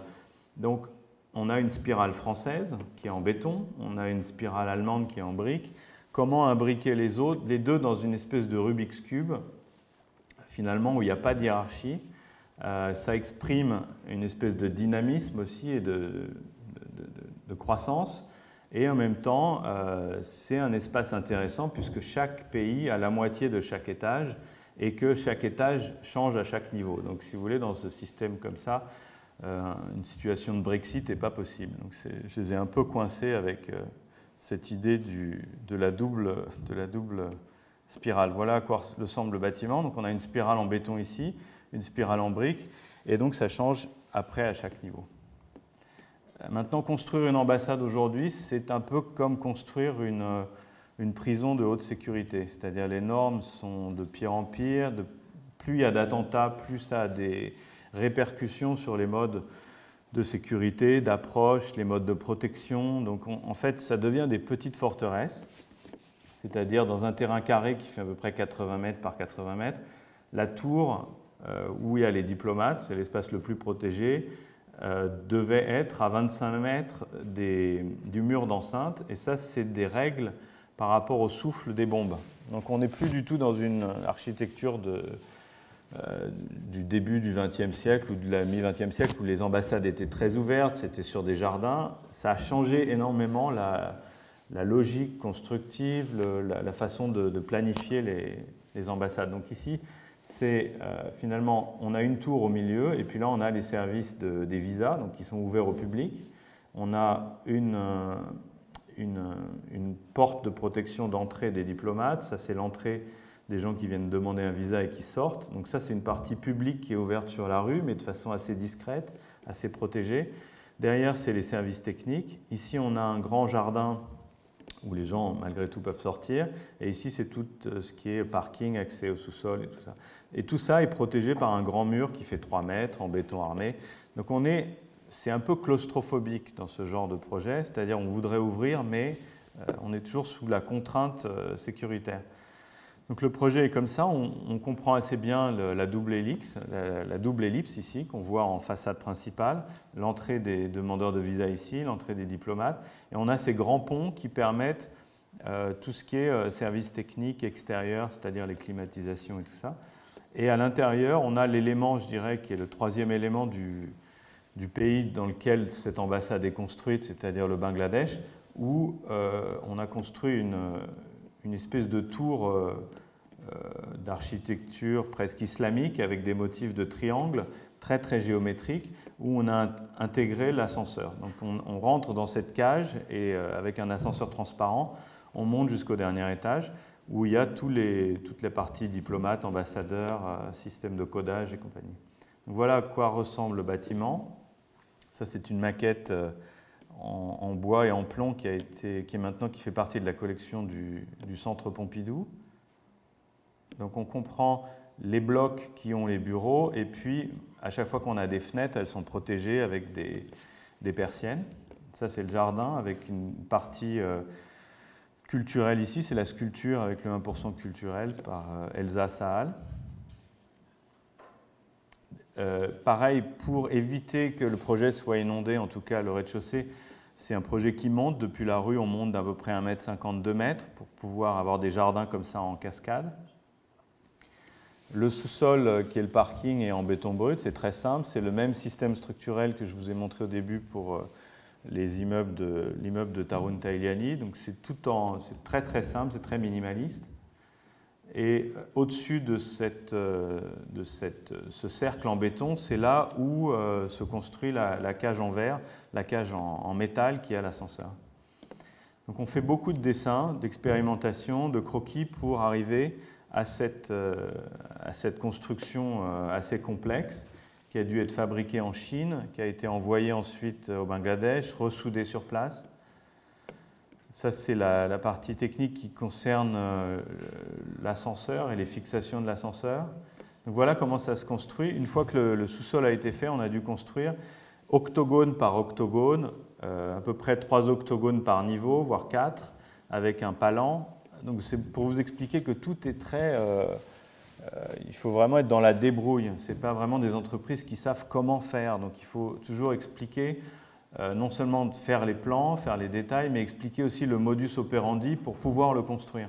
Donc là, à chaque fois qu'on faisait un étage, on remontait la structure, on ressoudait tous ces, tubes, et ensuite on coulait la dalle, puisque euh, cette cage est structurelle, elle permet de, reprendre tous les efforts de la, des dalles. Donc une fois que c'est fini, chaque étage ressemble à ça, et ça, ça porte, euh, ça porte le centre de la dalle. Et voilà la cage d'ascenseur qui vient au milieu. C'est un peu James Bond. Quand on prend l'ascenseur, on monte à travers cette, euh, cette, espèce de méga structure métallique. Là aussi, on a dû s'intéresser au système de fixation, ne serait-ce que pour mesurer chaque triangle, pouvoir euh, avoir la taille du verre. Donc il faut à chaque fois avoir des, des systèmes de mesure très simples, puisque ce n'est pas du tout un pays euh, sophistiqué en termes de construction. Mais malgré tout, on arrive à faire euh, des choses relativement complexes. Donc voilà la, structure d'ascenseur ici, tous les étages, et ça fait évidemment un puits de lumière à l'intérieur du bâtiment. Donc là, le projet est fini, il est habité depuis à peu près euh, juin. Euh, voilà le projet dans son environnement aujourd'hui. Donc on a une espèce de pavillon comme ça dans un environnement relativement boisé. Et puis derrière, on voit la ville de Dhaka qui se développe à l'infini puisque c'est une mégalopole de, On a à peu près 18 millions d'habitants aujourd'hui. On comprend bien les deux, les deux spirales. Ça, c'est la vue arrière depuis l'école. La façade principale qui est très fermée. Donc depuis la rue, euh, on a toujours des façades très fermées à cause des, explosions possibles. Il y a pas mal d'attentats à Dakar. Ça, c'est l'entrée des demandeurs de, visa. Donc c'est très discret, ça se fait en chicane. C'est pratiquement une architecture, euh, je dirais, médiévale dans les entrées, dans les, dans les, dans les dégagements l'entrée des diplomates ici avec le hall. Là, on aperçoit la cage métallique. Donc là, c'est de la brique de béton. Ici, c'est une brique noire teintée. Ensuite, on a une brique rouge normale. Et puis, euh, tout ce qui est euh, persienne et en, terracotta euh, avec une faïence blanche. Donc, tous ces éléments font partie du travail assez presque artisanal des façades. Là, on a des bandes de marbre blanc qui viennent s'installer dans les, dans les murs doubles. Et ça, c'est la vue depuis l'extérieur, depuis les jardins. Donc c'est vraiment une espèce de tour dynamique avec l'œuvre d'art ici qui est dans, la, dans, le bassin. Le hall avec un système de sol qui, ressemble un peu à un diaphragme d'appareil photo. Donc on a l'entrée ici et puis le, jardin de l'autre côté. Ça permet un hall dynamique où on peut organiser des, des, des réceptions. À l'étage, dans la tour, c'est beaucoup plus simple. C'est finalement euh, l'ascenseur au centre, des bureaux périphériques, deux cages d'escalier. Donc ça, c'est les bureaux des ambassadeurs. Donc on a l'ambassadeur de France ici, l'ambassadeur d'Allemagne diamétralement opposés avec leur staff immédiat. Donc ça permet d'avoir un projet qui, à chaque niveau, euh, a ce concept de dualité. En brique blanche, on a la partie française, en brique rouge, la partie allemande, et tout est articulé et change à chaque niveau. Donc l'utilisation de la brique colorée a permis aussi euh, une identification visuelle, puisqu'à chaque niveau ça change, on sait euh, tout de suite euh, dans quelle partie on est, on est au bureau, et en même temps ça permet une interaction des diplomates de chaque pays. Voilà les escaliers, donc tout, doit être dessiné, hein. tout est, c'est assez artisanal, je dirais, comme procès. Il faut, il faut donner tous les plans d'exécution pour les balustrades, pour les plans, pour les, pour les sols, le bureau de l'ambassadeur avec une tapisserie des Gobelins, la vue sur le reste de Dakar. Donc là, on est en double hauteur. Voilà le projet en question, c'est un fort du, du Rajasthan. C'est très petit, on a l'impression que c'est gigantesque. Il y a en fait un effet d'optique intéressant, c'est-à-dire ça fait seulement 40 euh, mètres de long par 20 mètres de profondeur. C'est sur une colline. Donc notre, euh, notre client, qui était une, un client assez spécial puisque c'était un client qui imprimait des billets pour le gouvernement. Or, ce bâtiment-là n'est pas du tout fait pour euh, accueillir 30 chambres. C'est petit, c'était à l'abandon, ce n'était pas non plus un bâtiment protégé dans le sens monument historique, donc on avait une, une possibilité d'intervention euh, très intéressante pour nous. Euh, donc, il voulait percer des, des, grandes fenêtres dans les murs qui faisaient 3 mètres d'épaisseur. Donc on lui a dit tout de suite, non, ça ne va pas ça ne va pas marcher. On va vous proposer quelque chose d'autre. Donc vous voyez le paysage autour, c'est sublime, c'est dans les collines, les monts Aravali, c'est à côté de Jaipur. On a une vue incroyable, spéciale, en particulier à ce niveau-là. Donc ce qu'on lui a proposé, c'est de ne pas faire monter les voitures jusqu'au fort, parce que ça c'était une des contraintes, de faire un bâtiment technique ici avec les restaurants, avec les, cuisines et tout ça, et de faire arriver euh, les clients avec une espèce d'escalator qui leur est amené directement dans le fort en, faisant comme un tunnel dans, la montagne, et donc en faisant une forme de fort extrudé, c'est-à-dire au-dessus de la base. Euh, de la base qui était classique, de reprendre une structure à l'intérieur et de faire vraiment une extrusion du fort avec des matériaux contemporains en faisant une progression d'un mur complètement euh, en pierre à un mur de plus en plus transparent, une piscine en haut. Euh, et donc les 30 chambres n'étaient pas dans le bâtiment initial, mais dans une extension. Avec des bastions, donc c'est assez complexe, il y a des bastions, les chambres étaient tout autour d'un atrium.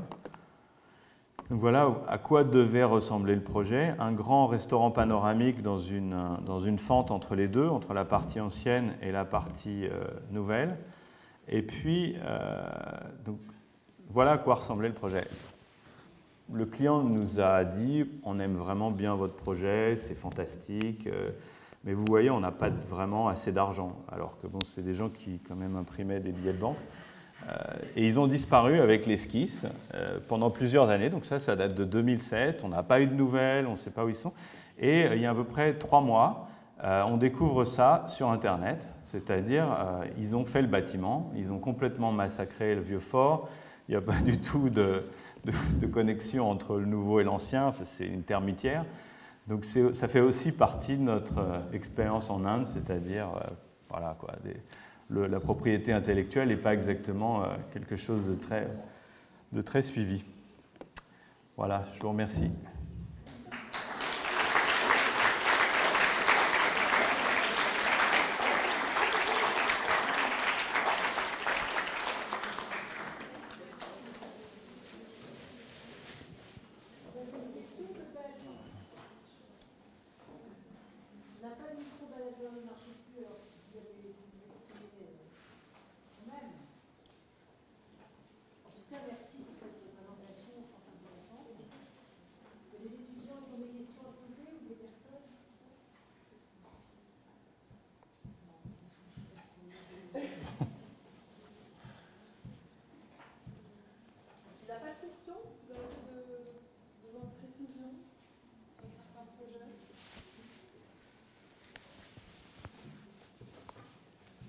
J'ai été très clair ou vous avez dormi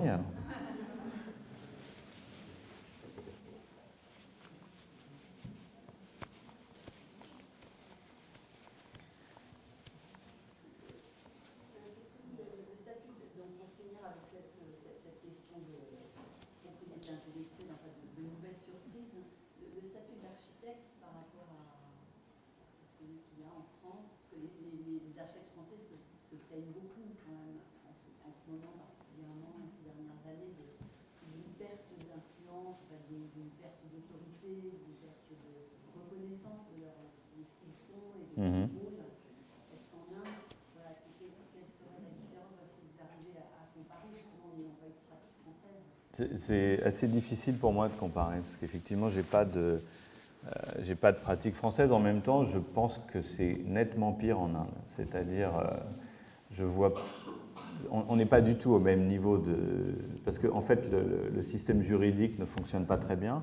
Donc, pour moi, par exemple, d'aller au tribunal pour un vol, un, vol d'esquisse, par exemple, c'est assez difficile, parce que déjà, euh, ils n'ont pas ils ont, pas, ils ont fait autre chose. Donc, euh, du, point de vue euh, purement euh, esthétique, je dirais, ils ont fait quelque chose qui était justement ce qu'il ne fallait pas faire, mais ils ont fait autre chose. Et puis après, c'est des années de procédure. Donc, je pense qu'un cas comme ça en France, ça se résout relativement vite. Il y a, un, vrai, procès possible. En Inde, c'est trop compliqué, c'est-à-dire. et puis, il n'y a pas de protection du, titre au sens français de l'œuvre d'art. Par exemple, la propriété intellectuelle.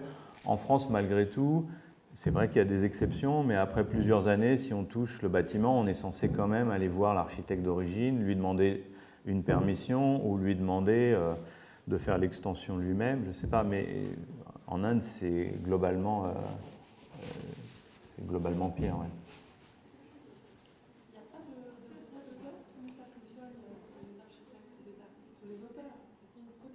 Il y a une protection sur le papier. Le problème, c'est quand le système juridique ne fonctionne pas.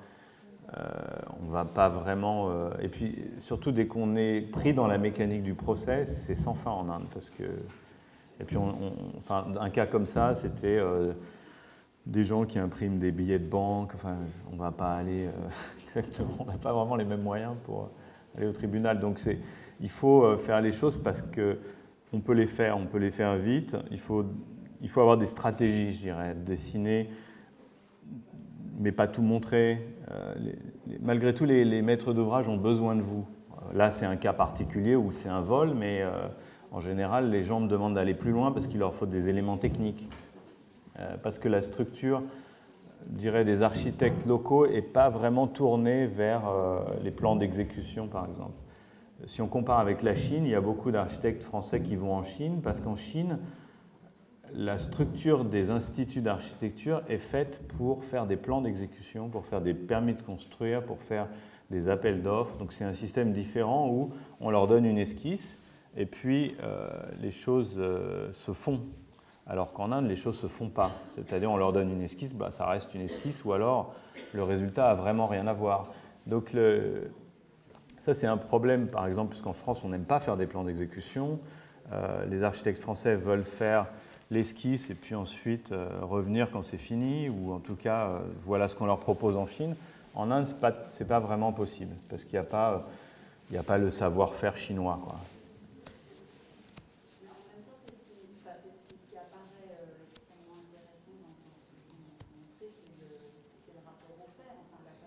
Oui. Ouais, c'est un, rapport où on est obligé de s'intéresser au fer. On ne peut pas euh, euh, juste produire des esquisses ou des images. Il faut s'intéresser euh, en profondeur à la structure, au fluide, au système de façade. Et on a relativement peu de consultants très, ou de BET très qualifiés. Donc il faut vraiment s'y intéresser soi-même.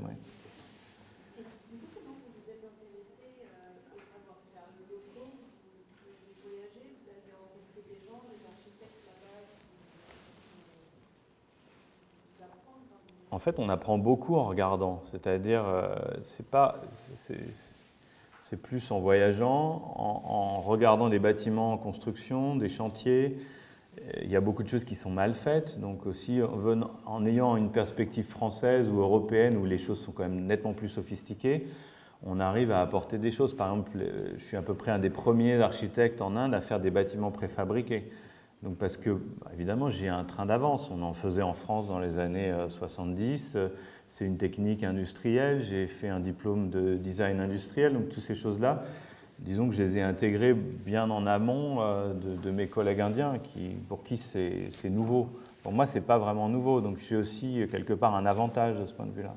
Et puis, euh, les bâtiments sont jamais faits d'une seule technologie. C'est toujours un mix. Par exemple, on a des bâtiments qui sont presque industriels, mais en même temps, le maçon qui va poser les briques pour faire la façade euh, fait le même travail depuis 50 ans. Il n'y a pas eu de changement vraiment dans la façon dont on pose des briques.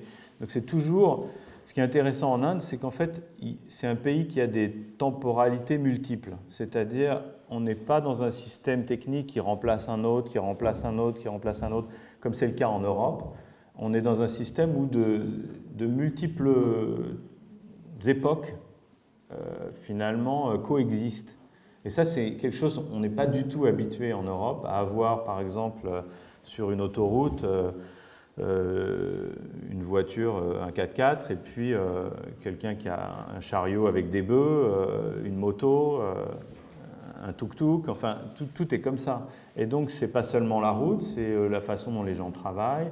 Il y a encore beaucoup d'artisanat et de métiers traditionnels. Par exemple, quand on a fait l'Alliance française, les pierres étaient livrées en vrac, elles étaient taillées sur place par des tailleurs de pierre. Donc c'est toujours une, espèce de combinaison entre euh, un système, je dirais, un peu plus avancé et puis un système vraiment traditionnel. Et il faut arriver à coordonner les deux.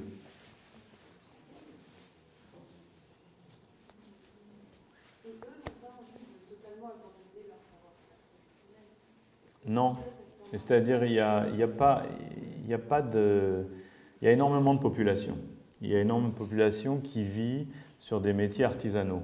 Euh, et donc, même si par exemple l'entreprise voudrait euh, complètement euh, industrialiser toute la production, il y a une résistance passive. L'Inde est intéressant pour ça. C'est-à-dire c'est pas c'est un pays qui a eu une occupation moghole, ensuite une occupation anglaise, où il y a une résistance passive très importante. C'est-à-dire c'est pour ça que par exemple euh, quand on envoie une esquisse, euh, les gens résistent. Ce n'est pas par hasard que euh, Gandhi a réussi à chasser les Anglais sans faire de guerre. C'est uniquement avec une résistance passive relativement paisible, mais avec une espèce d'inertie assez incroyable, mais qui permet aussi aux gens aujourd'hui d'avoir des métiers qui ont disparu depuis longtemps.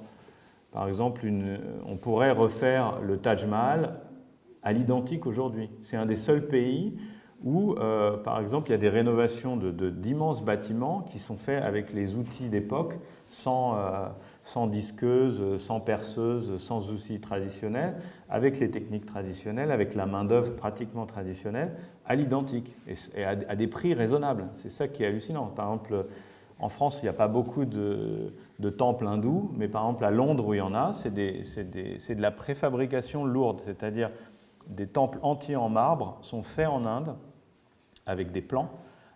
chaque pièce est de la stéréotomie, donc chaque pièce est numérotée, elle est empaquetée, elle est envoyée à l'autre bout du monde et elle est réassemblée, pratiquement sans, sans mortier, sans ciment. C'est hallucinant parce que c'est alors les plans sont faits sur AutoCAD et en même temps les tailleurs de pierre font toujours ça à la main. ils n'ont pas euh, une fraiseuse trois dimensions. Euh, c'est complètement une espèce de mélange des genres.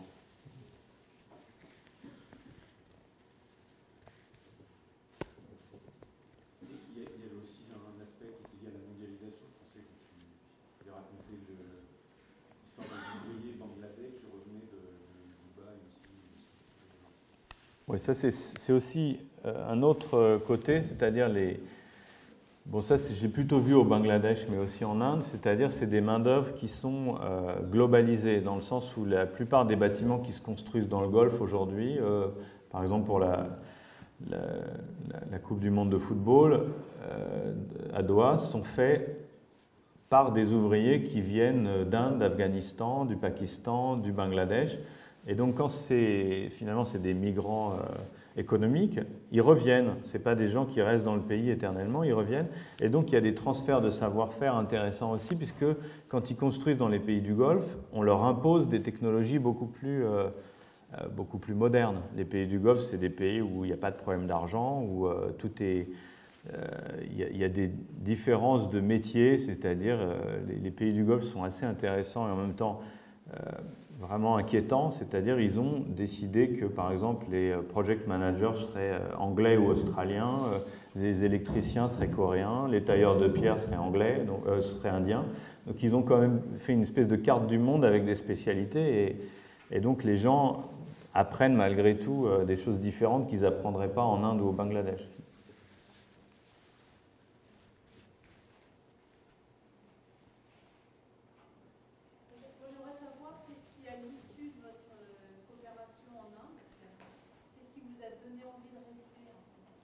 Eh ben, en fait, je ne suis pas resté, je suis revenu. C'est-à-dire, euh, j'ai fait deux ans de, coopération. Ensuite, je suis revenu en France. Et puis, j'ai fait, euh, j'ai fait des bâtiments en Afrique, en fait. J'ai fait deux bâtiments euh, à Cameroun et, et puis à Madagascar en étant basé à Paris. Et en fait, j'étais pas très à l'aise, je dirais, dans le système français qui est quand même très codifié qui est aussi très compétitif, où il n'y a pas non plus beaucoup de travail. C'est-à-dire, on est beaucoup d'architectes et, euh, euh, voilà, il y a pas, tout est déjà construit beaucoup en France, euh, en Europe en général. Donc, j'ai décidé de retourner en Inde. En fait, c'est en gagnant le concours de l'Alliance française où je me suis dit, finalement, il y a plus de choses à faire. Les projets sont des projets de grande ampleur. C'est des projets qui m'intéressent, des projets de, d'enseignement, de campus, d'écoles, des, projets comme ça qui sont un peu entre l'urbanisme et l'architecture. Euh, en France, ce n'est pas possible. En France, il y aura euh, à peu près euh, quatre consultations entre le master plan, le truc, plus le bâtiment à la fin. C'est bien, ça, partage le travail, mais moi je m'intéresse plutôt à une espèce de continuité entre la grande dimension territoriale et puis l'architecture voire même jusqu'au design intérieur, de mobilier, de choses comme ça.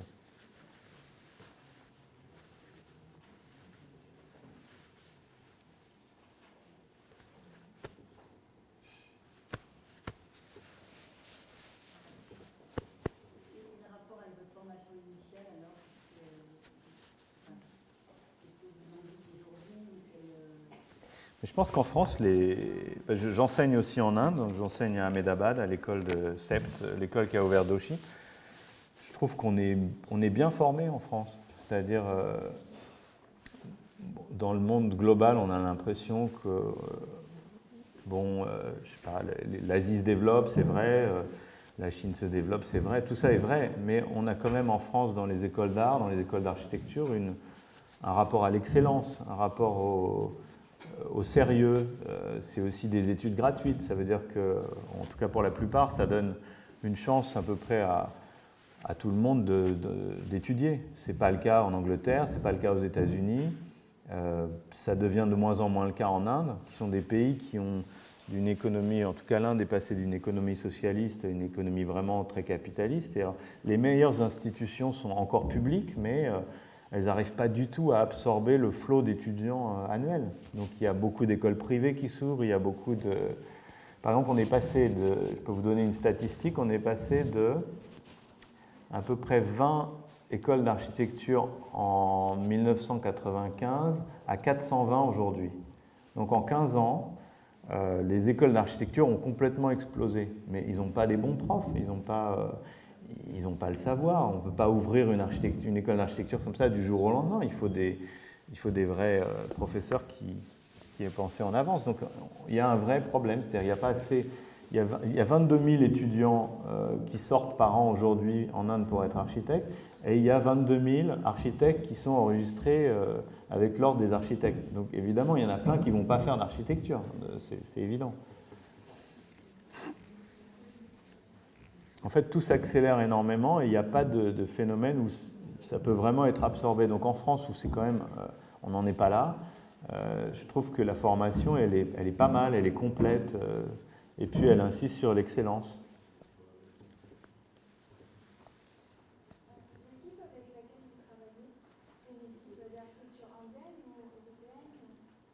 C'est euh, la, plupart des architectes qui travaillent avec moi sont indiens.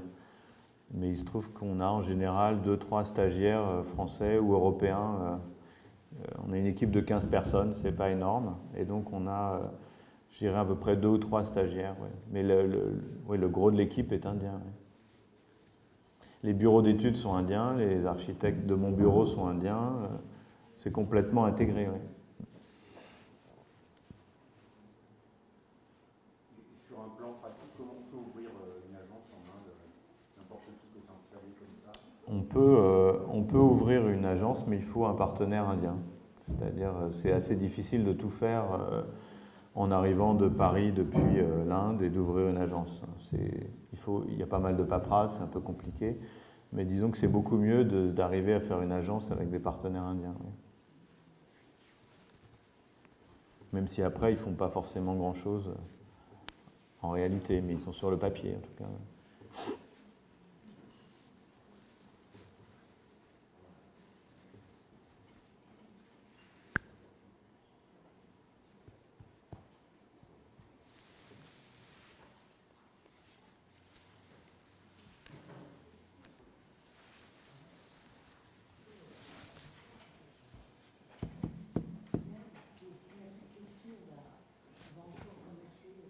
Merci. Je vous remercie beaucoup.